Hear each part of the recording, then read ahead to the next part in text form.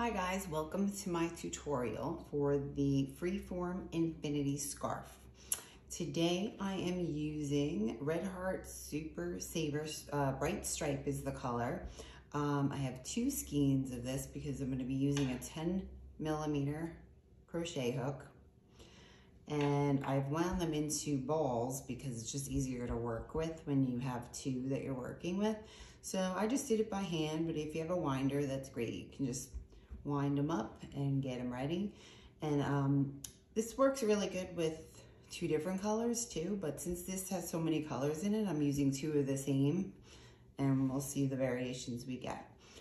I am really just gonna wing this project because I wanna show you guys how to do freeform and just kind of go along. So I figured a, um, a infinity scarf was a good project to start with. And I'm just going to put these on the floor. I have a box here for each one so they don't get tangled. And we'll see how that works. I'll take up a little bit. And we're just going to start, I'm gonna start with about 50 chains because I think that's a good size for my neck. I like that, but you can measure it and see if you like that.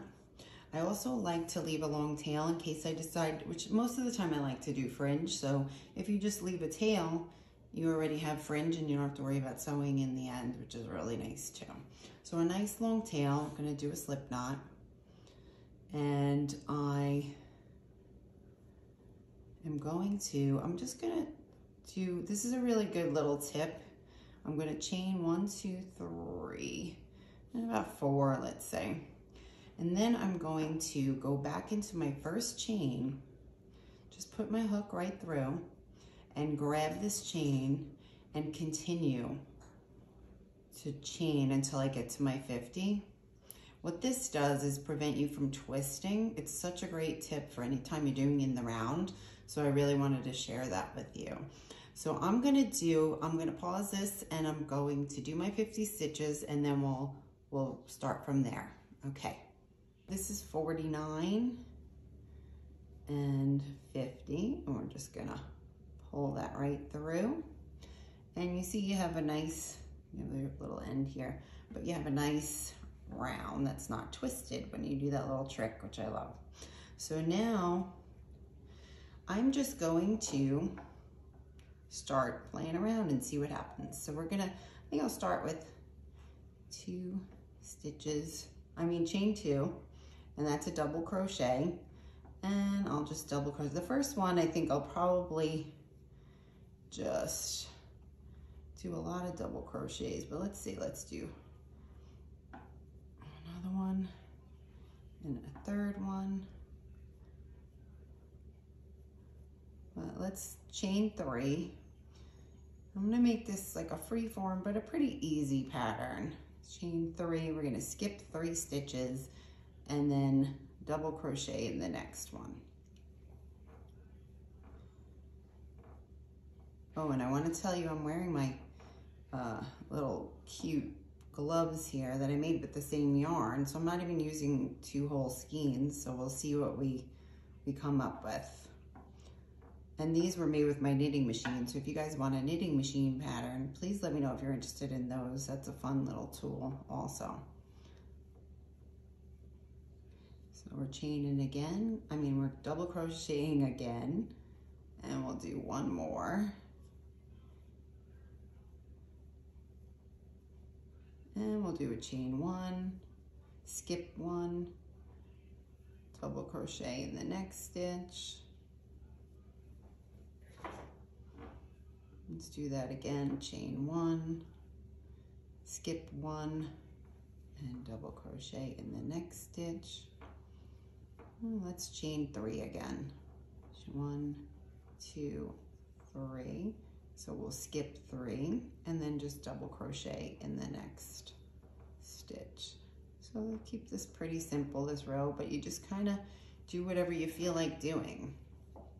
So especially when you're doing in the round, you're not going to have to really count your stitches. You're just gonna keep on going. So skip chain one, skip one, double crochet in the next, chain one, skip one, double crochet in the next.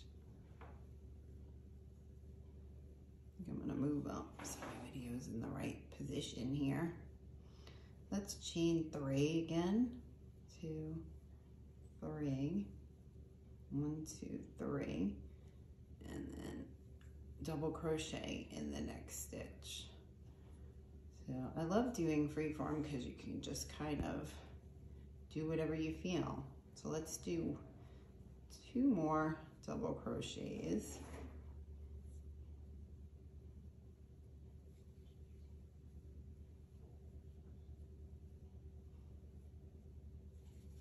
And you'll see it's just becoming.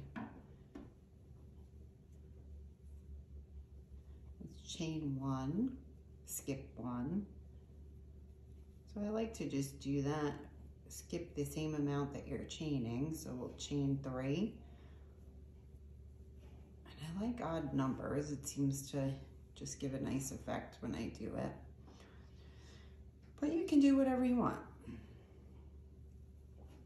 So let's double crochet, we'll double crochet, and do one more, double crochet. And using two yarns is fun because when it changes color, it just makes it really nice too. So let's chain three again. And one, two, skip three, and we'll double crochet.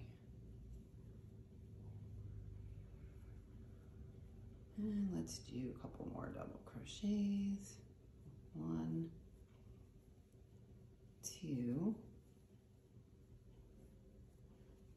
and we're getting towards the end here. So let's do three, chain three, one, two, three, skip three, and double crochet. Let's chain one,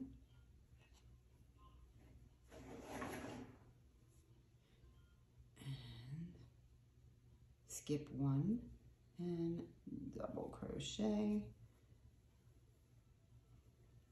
And just to make it easy, let's double crochet in this stitch right here. Oops, I'm pulling it. Pull, pull, pull.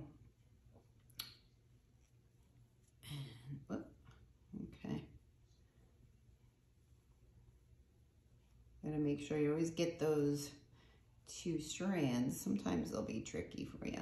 And then here you are in your last stitch. So we're just gonna slip stitch into that first chain two. And then I just like to pull this tail. So you just have a nice round here and it's not twisted or anything like that. So, okay, so for the next round, let's just chain three. Let's do a treble. And we'll do treble in the next stitch. And this first stitch is always a little tricky, so make sure you get that one. And this way, so all you really want to do is make sure that you have the same amount of stitches around. Even if you missed one, it wouldn't be the end of the world. And that's the thing about freeform is you can kind of really, it just opens you up to being a little more unstructured with crochet, which I really like. So we did three trebles here. And let's do a double crochet in the next one. Now, when you get to the open spaces, you have two choices. Sometimes I do it either way, where you can go in each stitch, or you can go just around it, like so. So let's just do a double crochet in there. You'll see it doesn't really matter. It's just how you prefer the look. And we'll do one more. And just one more here. And you'll see you can go in the stitch or around it. And now let's see what we have. I was trying to look forward and say, okay, what do I want to do? And I think I'm going to do another double crochet. And then one. Oh, I skipped one here. So let's do three, chain three. One, two, three. One, two, three. And then in this one, I'm just gonna do a single crochet. And this is where it gets fun because now you can really, let's do another one. And then let's just chain, we have three here, let's do another three. Chain, leave a nice open. Let's do a double crochet. Get some more yarn and a chain and a treble. So we're going to skip and do a treble. So you see it doesn't really matter. I just do whatever I feel like doing. Let's do another treble right in underneath that stitch. And let's do a double crochet here.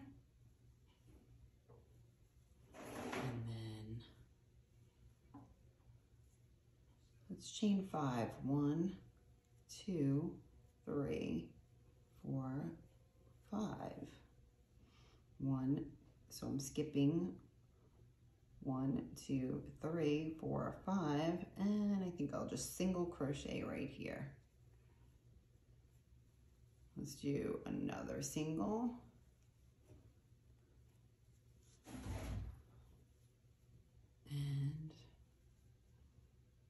Another single crochet right here. So sometimes you might have to pull it to see your stitches, which is fine, but you can see by doing the different levels, you get like a nice little arch, and this is what gives you the freeform design, which is fun. So let's do double crochets in this one. So this is a chain three, so I'm just gonna go right around that. One, two, three. See, and then when you start to change colors, it's really fun. Mm-hmm. it's always exciting when you get a new color, isn't it?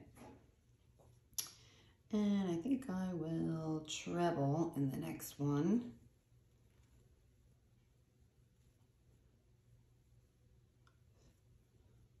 So I'm hoping that you're just going to follow along and then just kind of go with what you feel like doing and just understanding the concept of this but you can follow along however you want.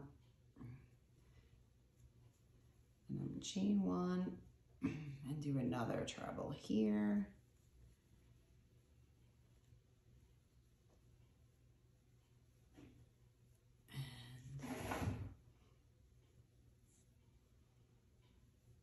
And in this one, I'm going to do three double crochets. Or maybe I'll do a double crochet at chain one and another double crochet. So it depends on how open you want it too. This is a double crochet. And then I'm gonna chain one again and do another double crochet. So, and then we got chain three space here. I'm gonna just do three single crochets. Two, three. Now, you should, because we started, it's so easy to see where you ended. You can always put a stitch marker if you think you're gonna get confused, but it's really not necessary. So we're gonna just do a double crochet. Let's do chain, one, two, three, three chains. And then we're gonna slip stitch in the top of that first chain three that we did. And then you have your second round, okay? So now we're getting somewhere. So we're just gonna pull this down and get some more yarn. And let's do another. You guys can stop here and go on your merry way or keep going with me. Let's do And we'll do a double here. And then, like I said, here's this stitch. That's always hard to see. We'll do another double here. Let's do a chain five. One, two, three, four, five. Skip one, two, three, four, five.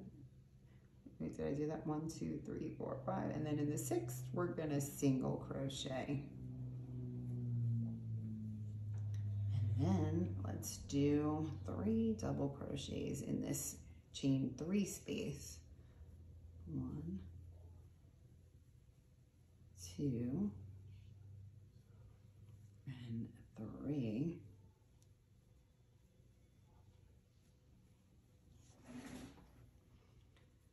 Then I think I will chain one and double crochet.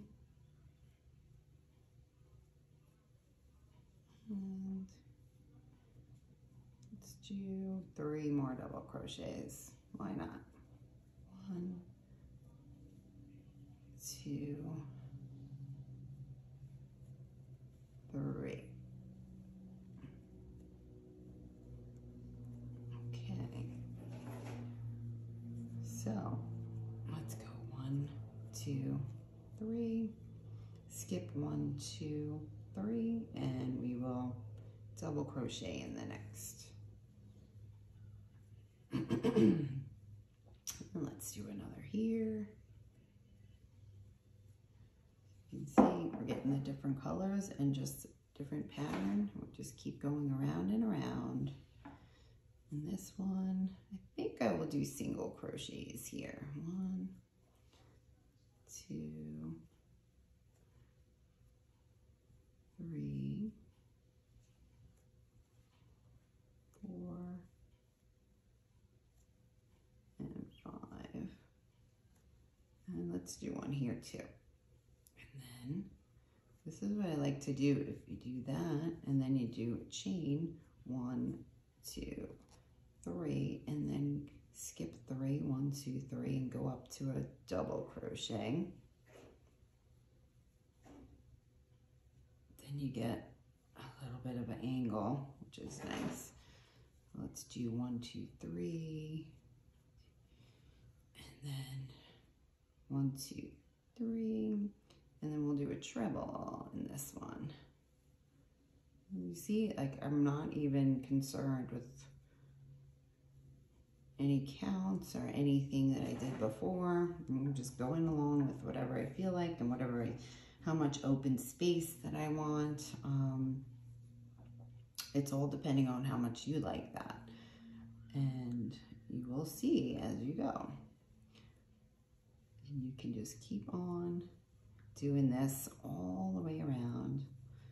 And this is, like I said, if you keep it kind of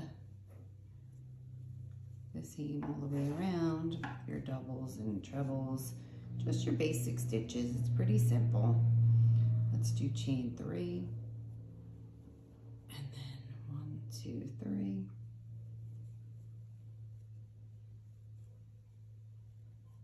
And let's chain one, skip one, and then we'll do, let's do just single crochet right in here. One, two, three. And then, you know, sometimes I'll do it and I don't like it. You can just take it out and do a different stitch. Maybe I'll do an extra one in here. Just feel how it, uh, how it's adapting to it, if anything's stretching out too much or anything like that. So let's just slip stitch. This is our first stitch. Pull that just to show you. And then I'm just going to keep going around the same manner for a few more rows. Exactly the same thing, just changing, making some holes and openings and going around and around and around. And um, I will show you mine when I'm finished. So I'll get back to you. I think I'm going to do, well, we'll see. I'll let you know how many rows I'm going to do and how high I want it. You can go as long, high as you want. So I will let you know.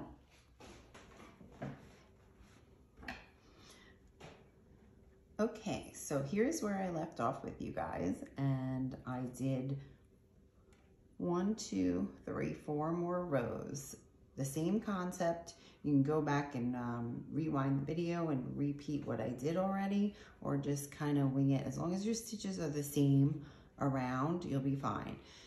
And then at the end, I did a row of, I like to end it with a row of double crochet and then a row of single crochet um, just to get a nice finished edge on the end. So then we're just going to clip off and then pull that through, right? And we'll sew that in. And now on the bottom edge, we'll just take a book, wrap it around to make our fringe using that same yarn and do a bunch of them. I'll just do a couple here and we'll cut that off. And so this way you have nice even fringe. And we'll grab two.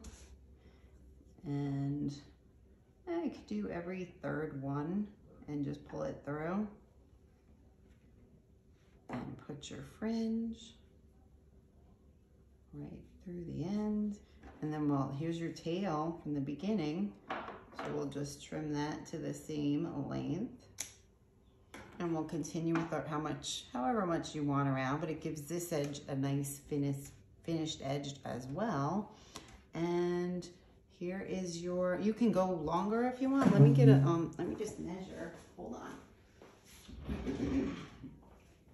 It is, this is about nine inches. And I did 50 stitches, like I said, so it gave me 11, which is fine. I like it. You don't, I don't want it too loose on my neck, but I don't want it tight either. So you can decide if that works for you when you test your first chain, but I think this is a perfect fit. And you will see, I'm gonna show you how it looks on and when my all, all my fringes done at the end. So thanks for joining me for this tutorial and I hope you liked it. And make sure to subscribe to my channel and give me a like and follow my LM Handmade Boutique. Um, I have more patterns on my Etsy shop and check them out. And thank you. Have a great day.